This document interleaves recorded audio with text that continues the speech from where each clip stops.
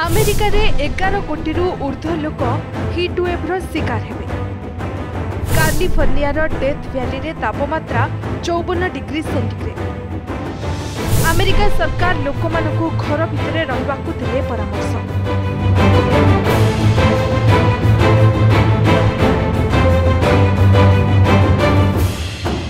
ଭାରତର ଲୋକମାନେ ପ୍ରବଳ ବର୍ଷା ଓ ବନ୍ୟା ପରିସ୍ଥିତି କାରଣରୁ ସମସ୍ୟାରେ ଥିବାବେଳେ ଆମେରିକାର ଲଗାତାର ତାପମାତ୍ରାରେ ବୃଦ୍ଧି ହେବା ଲୋକମାନଙ୍କର ଜୀବନକୁ କଠିନ କରିଦେଇଛି।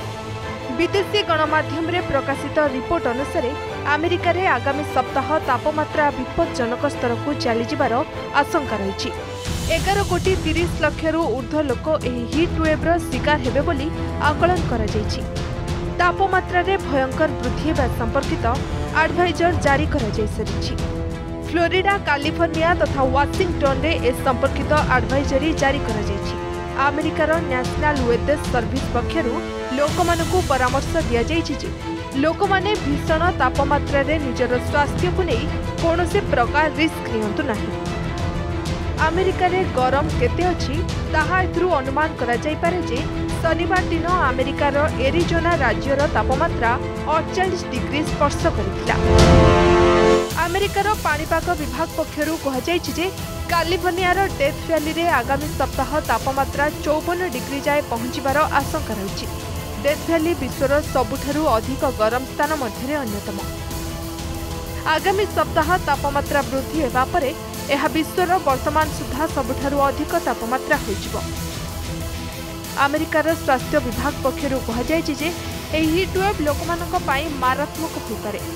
ଯେଉଁ ଲୋକମାନଙ୍କ ନିକଟରେ କୁଲିଂର ସାଧନ ନାହିଁ ସେମାନଙ୍କ ପାଇଁ ବିଶେଷ ଭାବେ ଏହା ଅତ୍ୟନ୍ତ ମାରାତ୍ମକ ହେବ ବୋଲି କୁହାଯାଇଛି। ଆମେରିକାରେ ପ୍ରତିବର୍ଷ ପାଖାପାଖି ସାତଶହ ଲୋକ ପ୍ରବଳ ଗରମ କାରଣରୁ ମୃତ୍ୟୁବରଣ କରିଥାନ୍ତି। କେବଳ ଆମେରିକାରେ ନୁହେଁ ୟୁରୋପରେ ମଧ୍ୟ ତାପମାତ୍ରାରେ ବୃଦ୍ଧି ହେବ ବୋଲି ଆକଳନ କରାଯାଇଛି। ୟୁରୋପର space agency Italy France Spain Germany ଓ ପୋଲାଣ୍ଡ ପାଇଁ ଭୀଷଣ ଗରମ ହେବାର ଆଲର୍ଟ ଜାରି କରିଛି।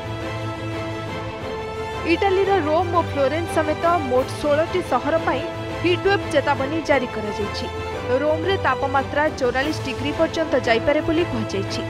ସରକାର ଲୋକମାନଙ୍କୁ ଦିନ ଏଗାରଟାରୁ ସନ୍ଧ୍ୟା ଛଅଟା ଯାଏ ଖରାରୁ ବର୍ତ୍ତିବାକୁ ପରାମର୍ଶ ଦେଇଛନ୍ତି। କ୍ଲାଇମେଟ୍ ଚେଞ୍ଜ କାରଣରୁ ଏଭଳି ବୈଷୟିକ ତାପମାତ୍ରାରେ ବୃଦ୍ଧି ହେଉଛି ବୋଲି ବିଶେଷଜ୍ଞମାନେ କହିଛନ୍ତି। Bureau report Argus news.